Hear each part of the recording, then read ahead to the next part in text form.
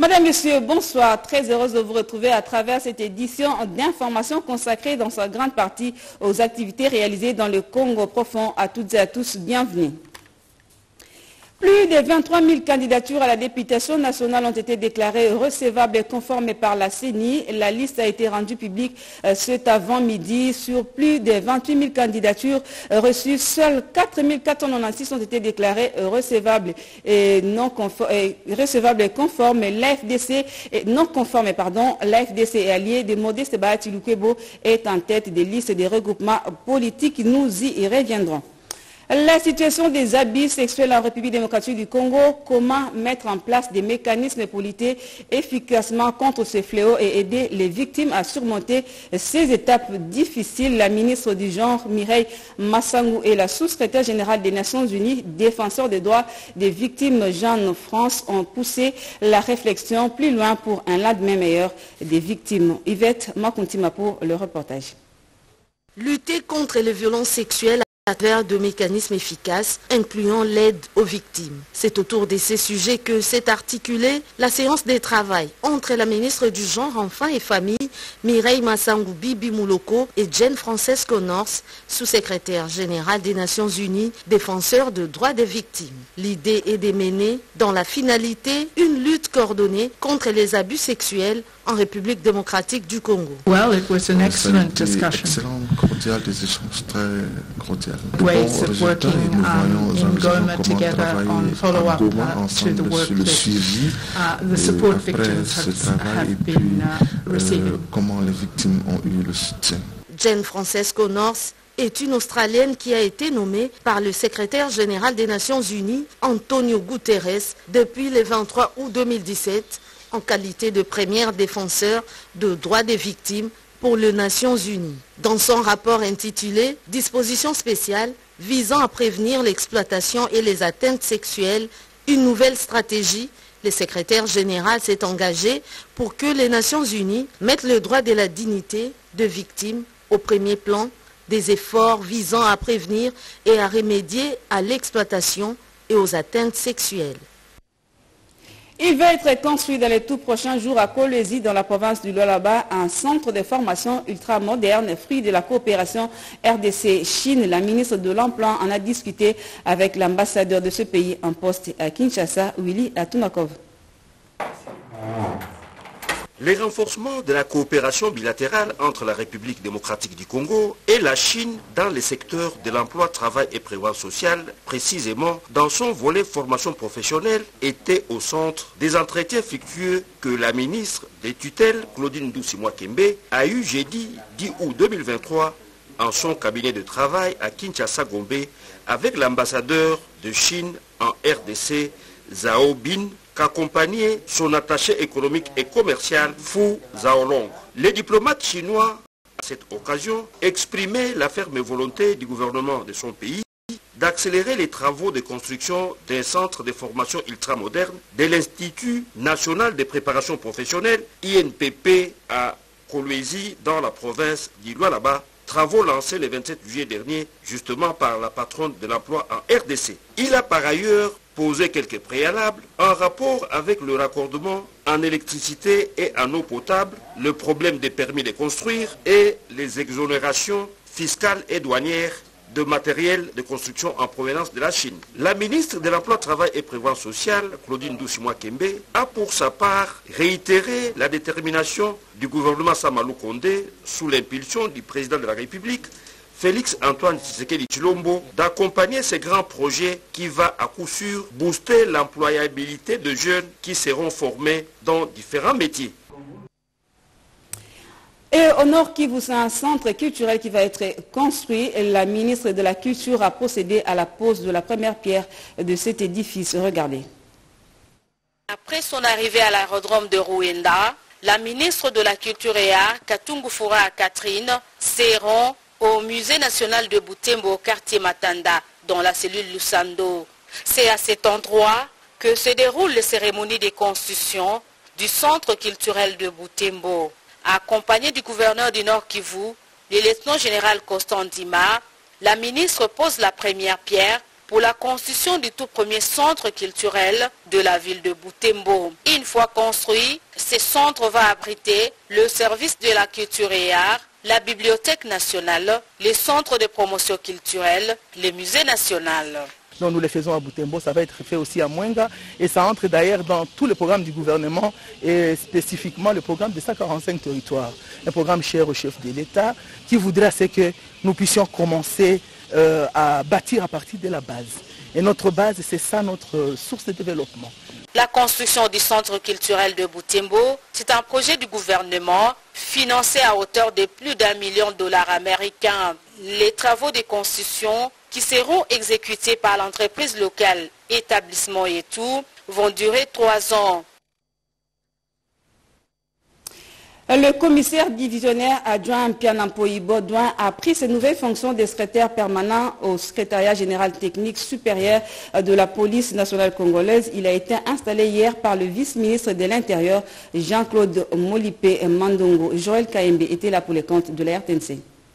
C'est avec cette accolade entre le nouveau promu et les sortants intervenus au secrétariat permanent du Conseil supérieur de la police nationale congolaise que s'effectue la passation du bâton de commandement. Le commissaire divisionnaire adjoint Pianampo Baudouin a pris ses nouvelles fonctions de secrétaire permanent au cours d'une cérémonie présidée par les vice-ministres de l'Intérieur, Sécurité et Décentralisation, représentant du vice-premier ministre Peter Kazadi. Sous les regards attentifs des ambassadeurs des États-Unis, de la Chine et plusieurs officiers de la police nationale congolaise, du conseiller du chef de l'État en charge de la réforme de la police, témoins de la circonstance. On n'invente jamais la roue si on veut avancer. Qui veut avancer s'assoit sur les jalons déjà posés. La population doit attendre de nous, policiers de rang, la réglementation d'abord des tests, l'accompagnement du policier qui de son social, qui de son avancement, qui du règlement qui l'accompagnera jusqu'à vers sa retraite. Nous veillerons à ce que toutes euh, ces batteries de règlements soient mises en marche. Le vice-ministre de l'Intérieur a rappelé la volonté du chef de l'État pour l'amélioration des services dans le cadre de la mission régalienne de la police congolaise. Il s'agit donc de parvenir à la construction et ou à la réhabilitation des infrastructures, à la dotation en équipement et matériel, au rajeunissement des effectifs et leur formation pour mieux assurer la mission régalienne de protection de personnes et de leurs biens. Cette cérémonie solennelle des remises reprises a eu lieu ce jeudi 10 août 2023 dans la salle des réunions de l'inspection générale de la police. Les droits des consommateurs ainsi que l'appui de l'autorité des régulations du secteur de l'électricité de sujets au cœur des échanges entre le directeur général de cette structure et celui de la SNEL. Regardez. S'exprimant devant la presse à l'issue de discussions auxquelles leurs collaborateurs ont pris part, le DG de l'ARE a relevé le caractère important d'accompagnement de la SNEL par l'ARE. D'après la docteure Sandrine Moubenga, son établissement a pour rôle d'accompagner la SNEL, comme cela se fait avec tous les autres opérateurs. Cette session de travail que nous avons eue, c'était pour permettre à la SNEL de bien travailler. C'est-à-dire que la SNEL est un opérateur, mais elle a besoin de l'appui du régulateur pour certains éléments. Et du même côté, nous avons dit que nous recevons certaines plaintes des consommateurs, donc on a besoin de travailler avec la SNEL pour pouvoir voir comment résoudre ces plaintes. Pour sa part, M. Fabrice Lucinde a souligné l'importance d'une bonne fourniture de l'électricité et le rôle qu'elle a rejoue entre les opérateurs et le consommateur se rassurer que nous, dans notre mission d'assurer le service public de l'électricité, nous nous conformons à tout ce qui est dicté par la loi, par les réglementations, mais surtout nous répondons à ce que les consommateurs attendent, c'est-à-dire un service de qualité. Une cellule mise sur pied depuis novembre 2021 reçoit le plainte opposant entre les opérateurs et le consommateur pour assumer la médiation afin de résoudre leurs litiges. Évaluer les opérations de contrôle des effectifs des éléments des forces armées de la République démocratique du Congo dans la troisième zone de défense, c'est l'objectif de la présence du général-major Mouindo Aliki en Ituri. Ce dernier a échangé avec les commandants des grandes unités. D'autres précisions dans ce reportage. La réforme de forces armées et sa montée en puissance passe impérativement par la maîtrise et la connaissance parfaite des effectifs militaires actifs, a dit l'inspecteur général adjoint de l'armée régulière, le général-major Mouindo Akilimondos, en mission d'évaluation du contrôle physique et biométrique à Nitouri. C'était en présence du gouverneur militaire de Nitouri qui est le numéro D de l'inspectorat général de l'armée congolaise a tenu une séance de travail et c'était à l'intention du commandant des grandes unités et les officiers ayant en charge l'administration. Le général-major Mondos a expliqué le bien fondé de ces contrôles initiés par le commandant suprême de FRDC, Félix Antoine Tshisekedi Chulombo, rendu possible par le ministre de la Défense nationale et ancien combattant avec en sa tête Jean-Pierre Demba Gombo. Que vu l'importance de, de cette mission, j'ai voulu euh, demander euh, aux différents commandants sur le terrain, les grands commandants, de s'approprier cette mission parce que c'est le défi à relever pour espérer la montée en puissance de notre armée. On ne peut acheter le matériel de guerre, l'armement, munitions et les équipements d'une armée dont on connaît euh, les effectifs. Même quand on parle de la réforme, on ne peut réformer une armée dont on connaît les effectifs. Rappelons que c'est depuis le 13 juillet courant que le gouverneur militaire et commandant des opérations, le lieutenant général Luboyanka Jouni, avait lancé le début du contrôle physique et biométrique de militaires actifs de la 32e région militaire, d'où les inspecteurs ont contrôlé sans complaisance le militaire déployé dans les coins et recoins de la province du Lituri en toute sécurité. Et dans le cadre du programme de développement local des 145 territoires, la fondation Mawa Nzonda et la population de Boudjala se sont lancés dans les travaux d'entretien routier tronçon Boudjala Mbako long de 43 km, nous dit Guy Blaise et Kitike.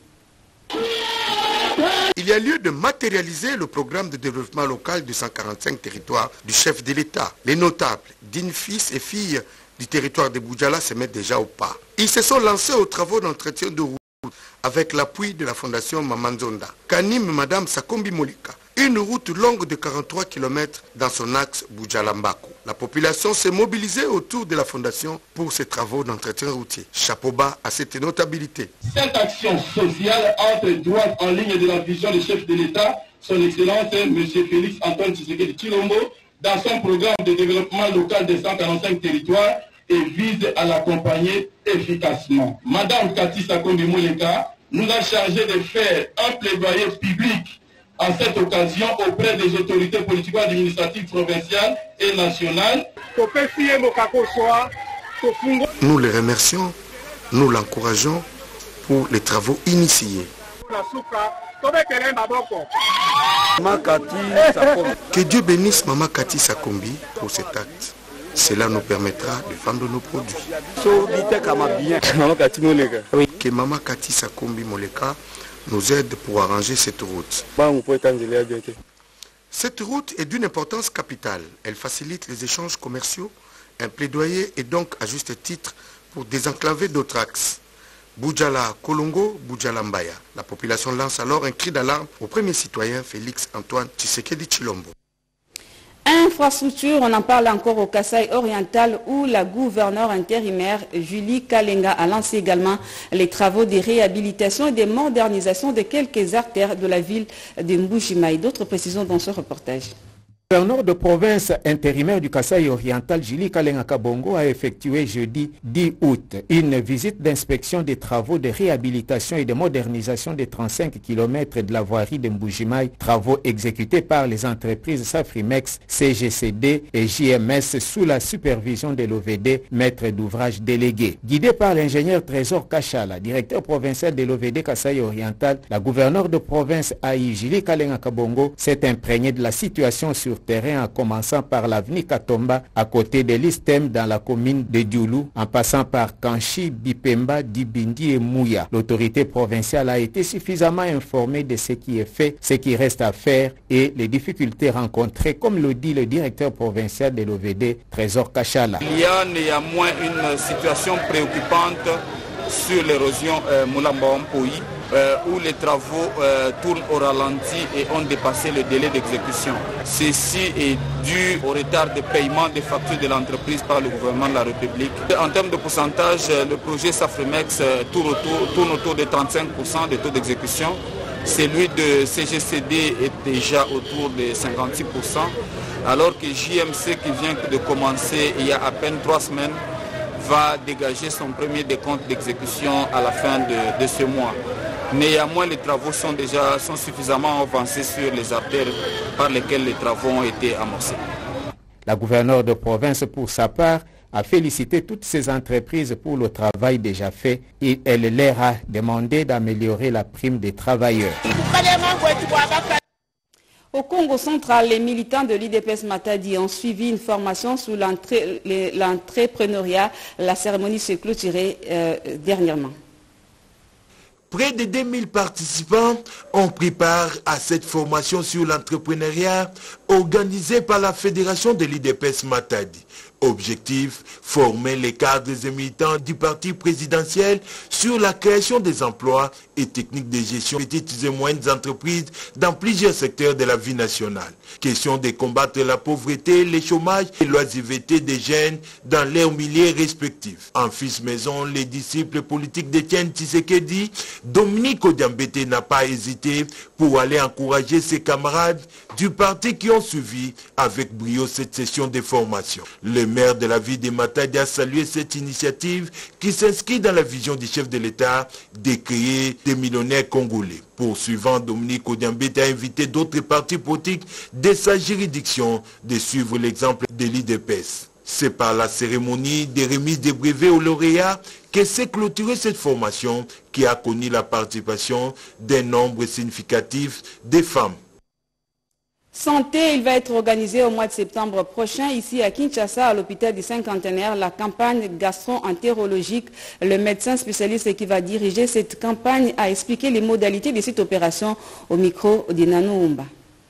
La pathologie gastro-entérologie est la spécialité médicale qui s'intéresse aux organes de la digestion, leur fonctionnement, maladies et les moyens de les soigner. Les tubes digestifs oesophage, estomac, intestin, le côlon et le rectum constituent le système digestif pour un humain. La plupart des personnes dans le monde qui ignorent cette pathologie ne se font pas dépister à temps réel. En République démocratique du Congo, à l'hôpital du cinquantenaire, une machine ultra moderne et professionnelle est la Pimpa neuve qui illustre bien et détecte toute anomalie, les problèmes ventre de l'intérieur avec le docteur Subramania, spécialiste entérologue de cet établissement hospitalier qui appelle la population à venir aux consultations gratuites pendant la campagne médicale tout au long du mois de septembre prochain. En effet, j'offre mes services aux personnes souffrant de douleurs abdominales de jaunisse, d'hépatite et d'autres problèmes de foie.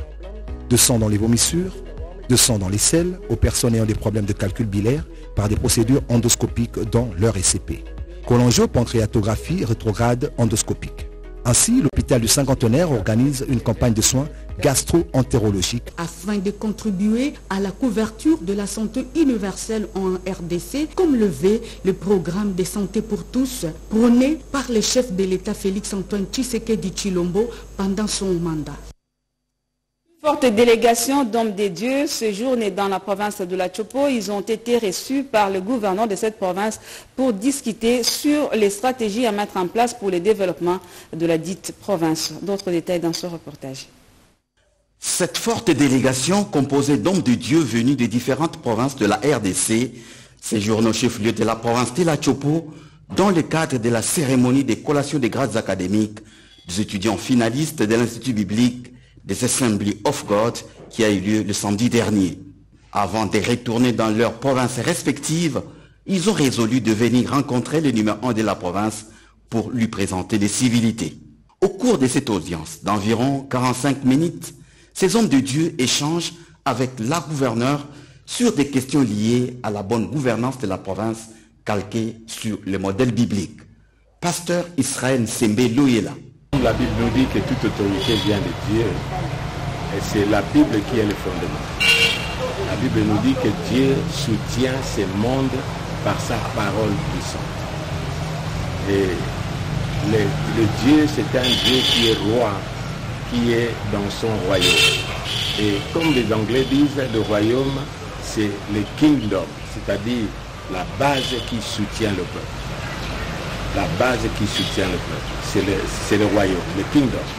Alors, cette base qui soutient le peuple, la Bible dit dans le livre d'Hébreu, chapitre 1er, que Dieu soutient ce monde par sa parole puissante.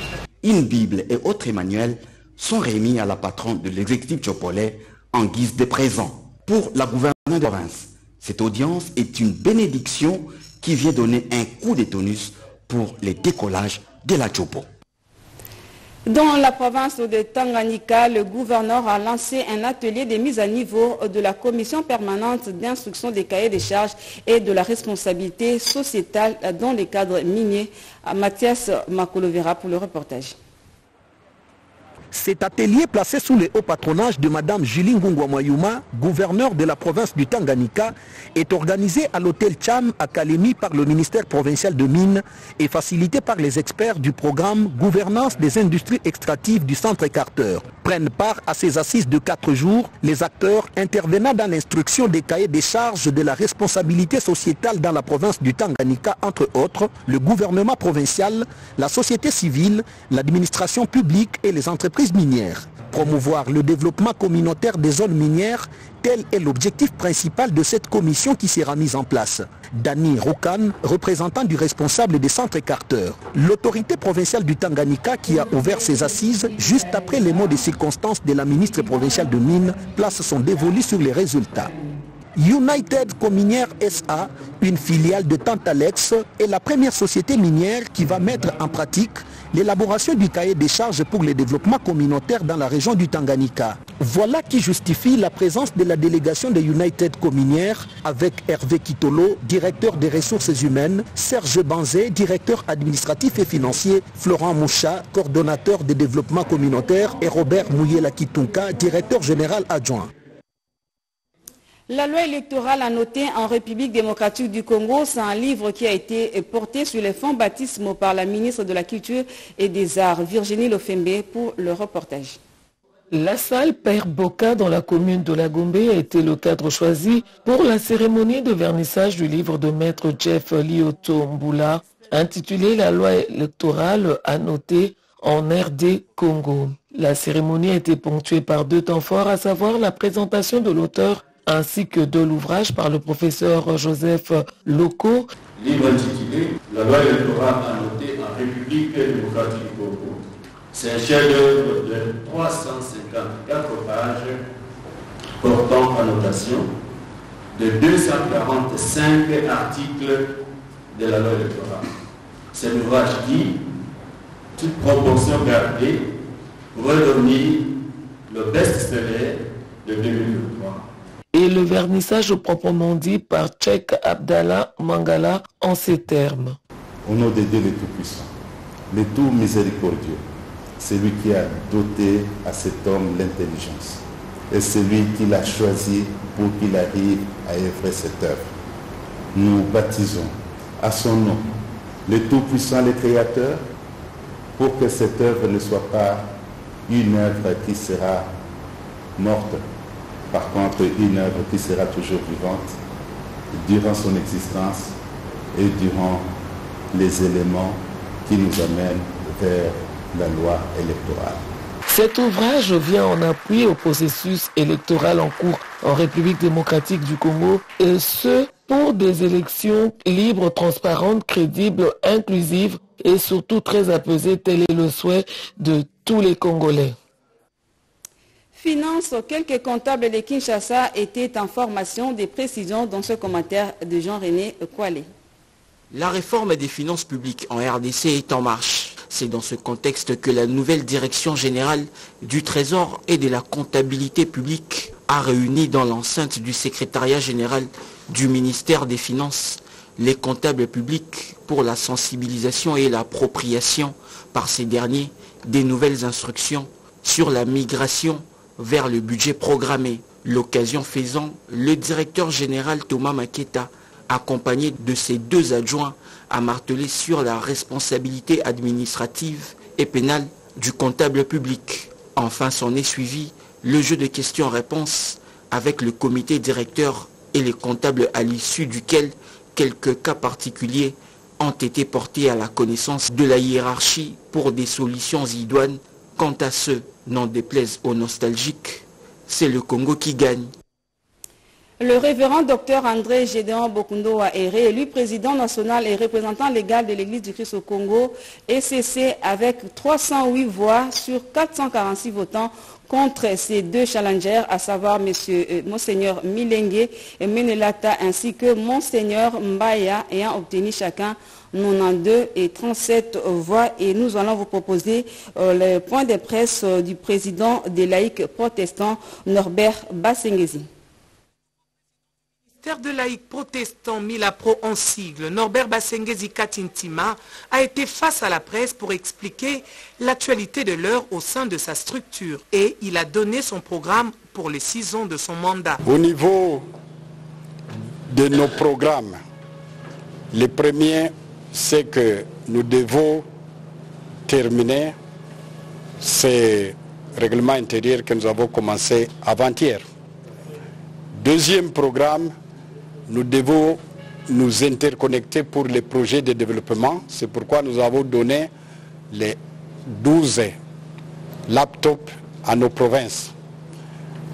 Troisième programme, c'est de continuer à aider l'Église dans le cadre de l'évangélisation, dans le cadre du développement et dans le cadre de la démocratie, en incitant les gens à l'éducation civique électorale, en incitant les gens à aller massivement voter, comme nous l'avons fait pendant l'enrôlement, et avoir des observateurs et voter bien, pas voter utile comme les gens le disent, voter pour les gens qui travaillent. Le ministère de laïcs protestant entend produire des projets innovants pour l'Église du Christ au Congo en particulier et la République démocratique du Congo en général.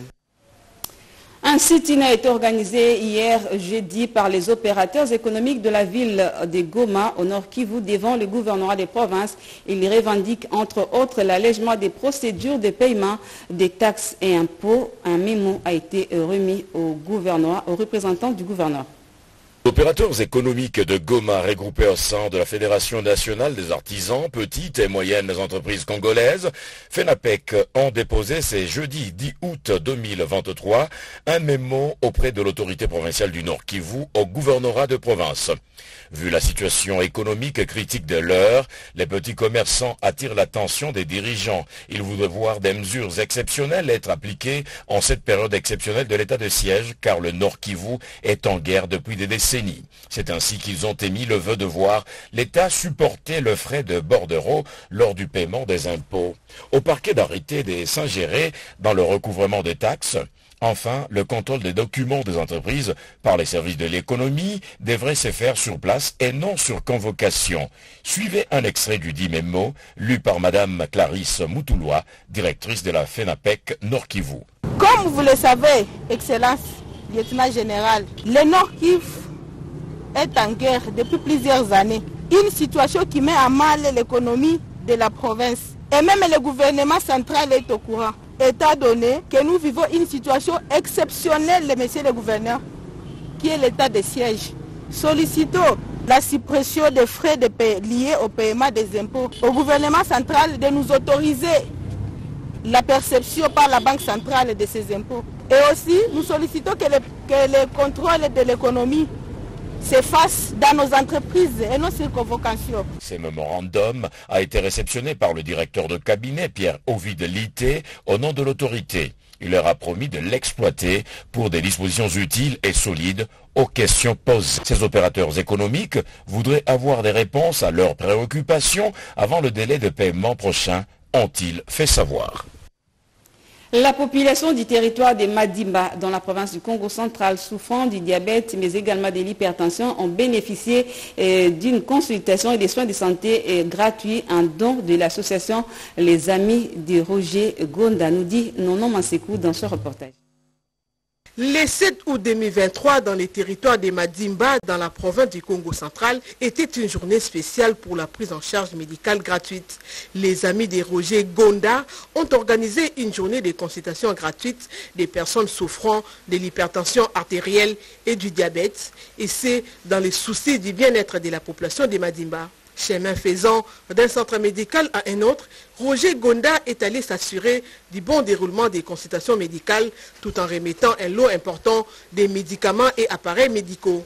Avant d'entamer sa ronde, les fils d'Antoine Gonda avaient responsabilisé les médecins directeurs du centre de santé Kandu 3 pour desservir plusieurs centres médicaux des Madimba en médicaments et appareils médicaux.